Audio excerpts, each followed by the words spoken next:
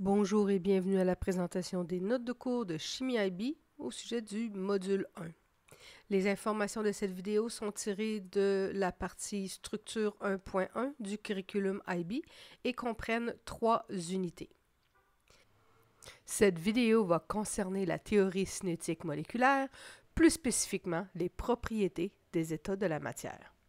Donc la théorie particulière, qu'est-ce qu'elle dit? C'est que la matière est représentée par des atomes, qu'on va dire que c'est des petits points, des petites particules, euh, mais c'est difficilement accessible parce qu'on ne peut pas les voir. C'est, les particules sont trop petites pour qu'elles puissent être vues.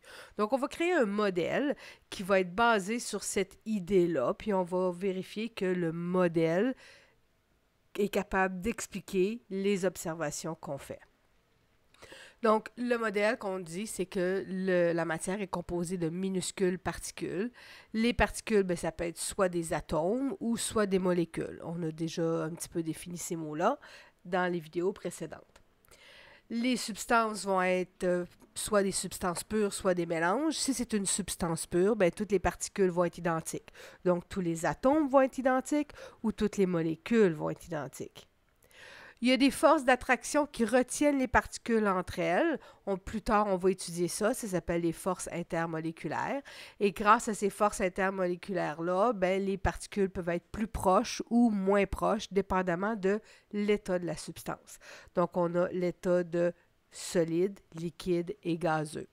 Dans les solides, les atomes ou les molécules sont très très proches les uns des autres.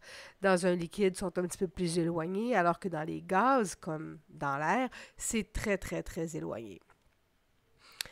Ces particules-là sont toujours en mouvement. Les mouvements vont dépendre si c'est un solide, un liquide ou un gaz et vont aussi dépendre de la température.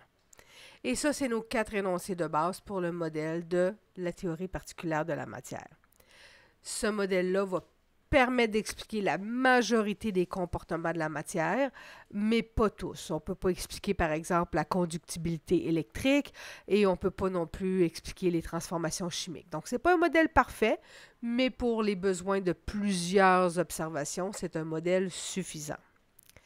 Donc, revenons sur ces trois états de la matière. Donc, ça peut être solide, liquide ou gazeux. Fait c'est quoi la différence entre un solide, un liquide et un gaz? C'est sûr que d'instinct, on le sait, mais ça peut être difficile de l'expliquer en des mots. Donc, un solide comme des glaçons, un liquide comme de l'eau et gazeux comme la vapeur d'eau qui a bouilli, c'est facile avec des images de reconnaître qu'est-ce qui est solide, liquide ou gazeux. Mais c'est pas parce que c'est solide que ça va toujours être solide. Par exemple, de l'or, on le voit sous forme solide. Nos bijoux en or sont sous forme solide. La monnaie, les pièces de monnaie en or sont sous forme solide. Mais c'est possible de chauffer l'or jusqu'à temps qu'il devienne liquide. Donc, on peut passer d'un état à l'autre. J'ai l'exemple aussi du mercure. Le mercure, c'est le seul métal qui est liquide à température de la pièce. Donc, on voit ici un bac rempli de mercure liquide, juste ici dans le fond du bac. Et le monsieur a une grosse enclume très pesante. Et pourtant, cette enclume-là, très lourde, va pouvoir flotter sur le liquide parce que ce liquide-là, ce n'est pas de l'eau. Ce liquide-là, c'est du mercure. Donc, le mercure est à une phase liquide à température de la pièce. Mais le mercure peut aussi être sous forme gazeuse. Donc ici, on voit une petite goutte de mercure qui est déposée. On ne peut pas vraiment voir le gaz parce qu'il est sous forme gazeuse, justement. Mais sous une lumière ultraviolette, on va pouvoir voir les vapeurs de mercure sur, qui, qui s'en vont ici sur l'écran. Donc, on voit le mercure sous forme gazeuse. Donc, c'est un gaz qui est volatile et ces vapeurs-là sont en fait très dangereuses pour la santé. Donc, ce n'est pas une expérience qu'on doit faire sans protection.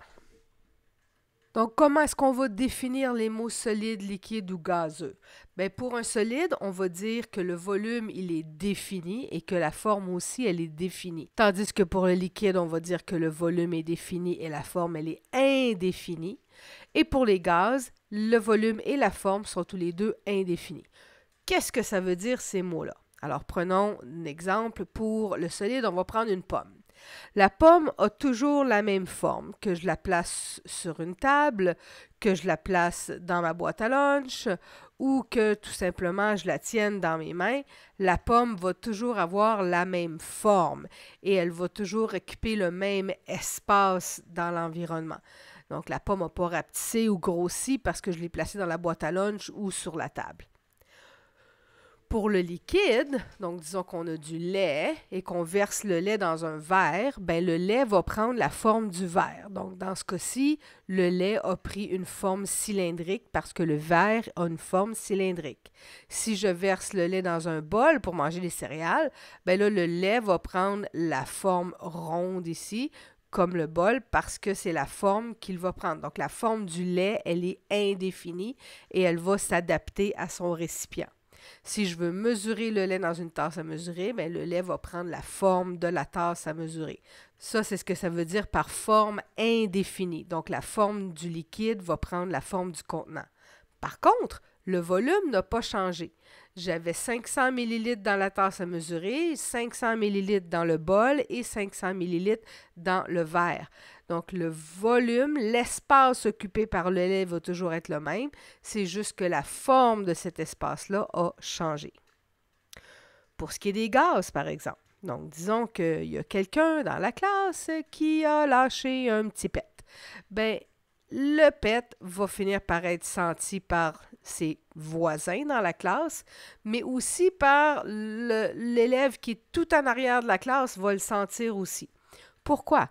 Ben, parce que le pet, quand il était dans les fesses de, l'élève, il prenait un petit espace minuscule parce qu'il était dans les intestins il était tout petit. Et aussitôt qu'il a sorti, il a voulu prendre tout l'espace disponible. Donc, il a grandi. Son volume a changé pour prendre l'espace qui était occupé. Et la forme, évidemment, va changer parce que ça va prendre la forme de la classe. Donc, le volume grandit jusqu'à ce qu'il devienne dans tout l'espace disponible. C'est ça que ça veut dire par volume indéfini.